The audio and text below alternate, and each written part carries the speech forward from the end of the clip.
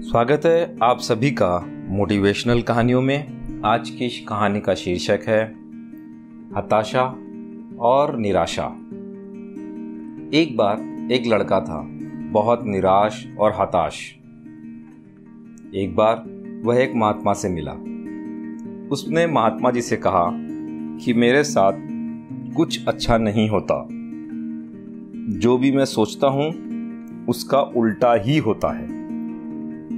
मैंने सोचा, जब नौकरी लग जाएगी तो अपने पिताजी को एक अच्छी गाड़ी दूँगा।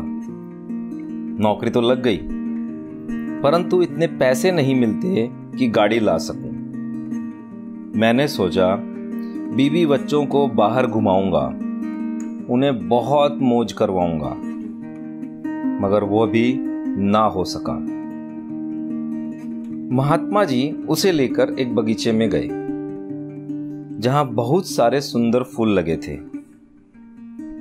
वहाँ जाकर महात्मा जी ने कहा कि तुम्हें बगीचे में से किसी एक फूल को लेके आना है, जो तुम्हें सबसे सुंदर लगता है। मगर एक शर्त है। वह यह है कि फूल को तुम्हें पीछे हट कर नहीं तोड़ना है। मतलब एक बार वहाँ से निकल गए तो आगे ही बढ़ना है, पीछे नहीं आ सकते। लड़का एक कोने से फूल चुनने चल दिया। उसे बहुत सुंदर फूल दिखाई दे रहे थे। लेकिन लड़का ये सोचकर आगे बढ़ता चला गया कि इससे भी बढ़िया फूल आगे होगा तो उसे तोड़ लूँगा।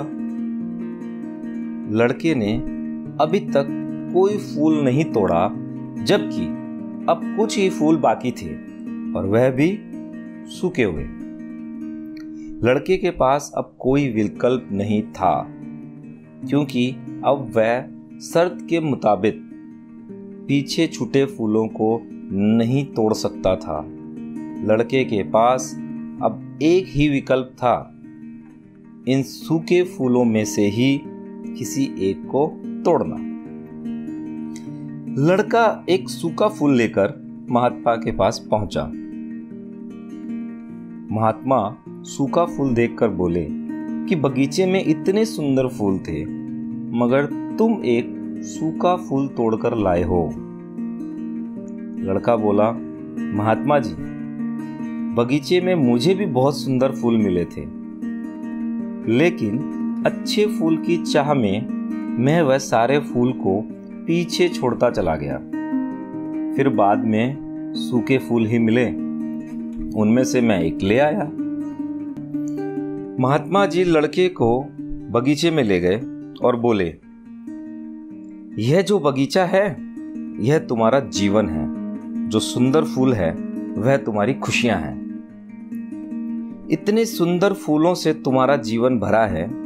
फिर भी तुम और बेहतर की चाह में जीवन में खुशी ले नहीं पा रहे हो। तुम्हारे माता पिता को खुशी अच्छी गाड़ी से नहीं, अपितु तुम्हारे साथ बैठने से और बात करने से मिलती है। अपने परिवार के साथ समय बिताएँ, उनकी देखभाल करें, यही सच्ची खुशी है। दोस्तों, इंसान हमेशा और अच्छे के लिए सोचता है। और ऐसा सोचना अच्छा भी है। लेकिन बेहतर की चाह में अपने वर्तमान की छोटी छोटी खुशी को भी नहीं जी पाता। हमेशा अधिक धन की लालच में हम हमेशा हमारे सुंदर बगीचे में आगे निकल जाते हैं और अंत में बचते हैं सूखे फूल। इसीलिए वर्तमान में जी भर के जिए। धन्यवाद।